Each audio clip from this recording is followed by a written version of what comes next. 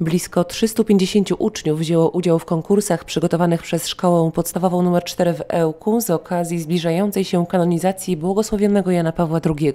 Dziś w placówce odbyła się uroczysta gala pod tytułem Blask Świętości Jana Pawła II. Konkursowe działania swym zasięgiem objęły nie tylko ełckie szkoły, ale także placówki m.in. z Giżycka, Olecka, Starych Juch, Bożym, Woszczel czy Białej Piskiej. Łącznie 27 szkół. Nasze działania miały na celu odnalezienie przez najmłodszych źródeł świętości Jana Pawła II. W naszej szkole odbyły się trzy konkursy. Pierwszy było to poezja Karola Wojtyły.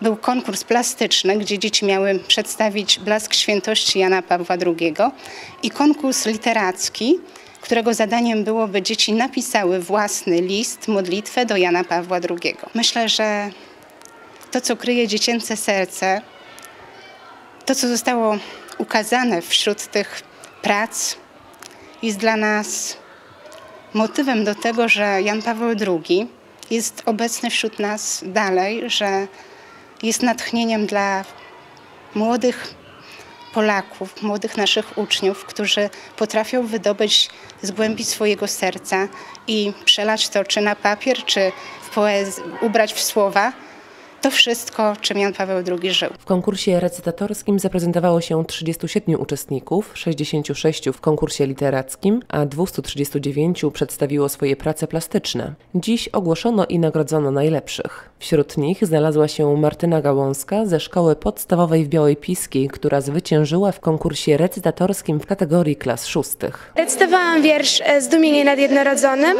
Już e, w konkursie powiatowym też otrzymałam pierwsze miejsce za ten wiersz. Wiersz jest, e, tak jak ten tytuł mówi, Zdumieniem nad jednorodzonym. Jest o tym, że Pan Jezus był takim normalnym człowiekiem, że On był po prostu, On był po prostu człowiekiem, ale opowiada o tym, jaki On był naprawdę niezwykły bardzo się cieszę ze zwycięstwa, chociaż w ogóle się tego nie spodziewałam. E, poszłam, że tak powiem, na pierwszy ogień, bo byłam pierwsza wyczytana. Byłam przerażona po prostu, ale jakoś się skupiłam i najwidoczniej się udało. E, Jan Paweł II moim zdaniem był e, bardzo ciekawym człowiekiem. Wiele razy też na religii, na języku polskim przerabialiśmy jego wiersze. Był człowiekiem otwartym, komunikatywnym. Właśnie te podróże nawet nie do krajów chrześcijańskich, tylko do krajów po prostu, gdzie wyznawało się inną wiarę, był, był człowiekiem otwartym. W uroczystościach oprócz przedstawicieli placówek udział wzięli również prezydent miasta, proboszcz parafii Najświętszego Serca Jezusowego w Ełku oraz ksiądz biskup Romuald Kamiński. Biskup w rozmowie z Radiem 5 przyznał, że wydarzenia przygotowane i zrealizowane w Ełckiej Czwórce przeszły jego oczekiwania. To świadczy o prężności szkoły, o dobrze postawionym zadaniu, dobrze wpisanym w czas, tuż przed beatyfikacją Jana Pawła II, mówił. To jest także wyrażenie pragnienia, żebyśmy szli tą drogą. W duszy ludzkiej jest to pragnienie życia pięknego, godnego.